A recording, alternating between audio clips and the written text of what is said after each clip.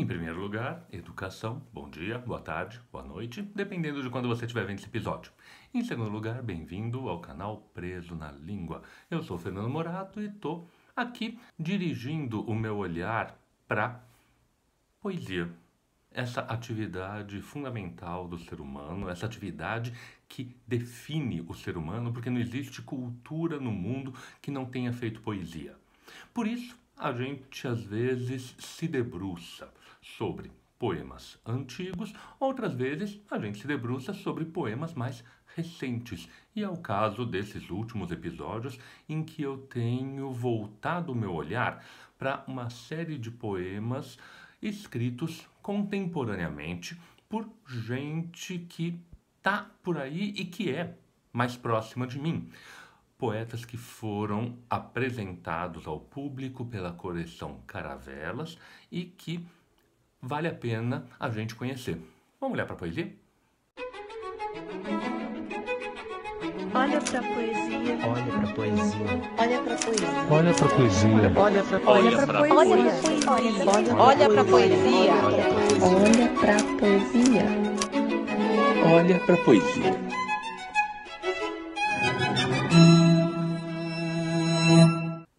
Nesse episódio de hoje, eu queria voltar o meu olhar, e falando em olhar, isso faz todo sentido do mundo, para um poema da Cristina Beccioli Ribeiro.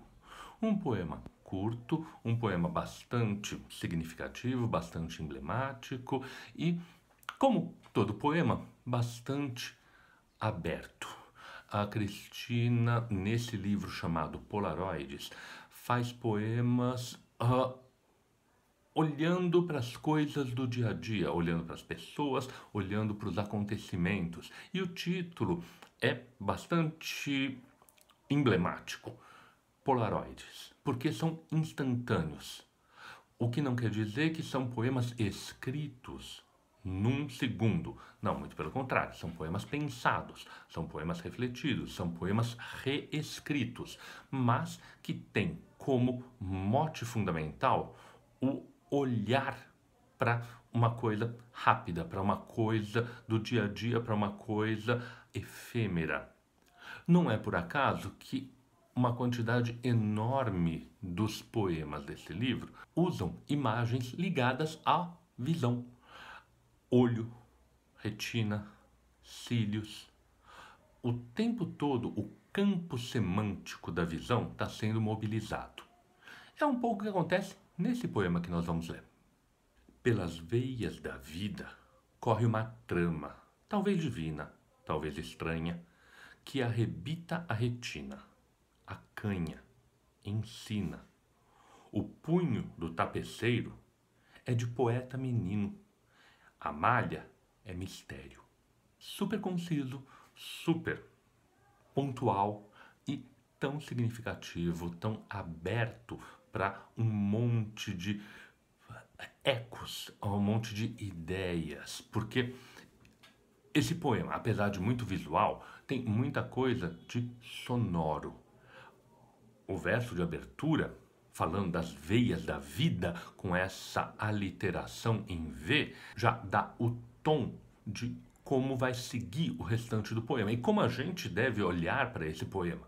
A gente deve olhar prestando atenção nas sobreposições de sons e de significados. As veias da vida indicam vida, indicam movimento, indicam calor e indicam esse fluido que está reproduzido no próprio som, nos próprios Vs.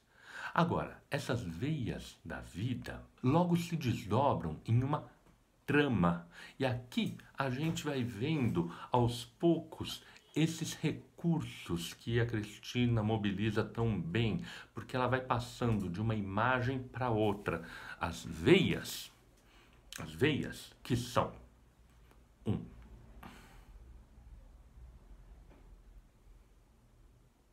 que são uma rede de conexões, desdobra na trama. A trama fala de tecido. O tecido já passa de algo natural para algo artificial, para algo humano, para algo construído, mas justamente por isso, algo que tem um resquício, mantém uma conexão firme com esse dado orgânico que é o das veias. E, óbvio, o que, que vai acontecer?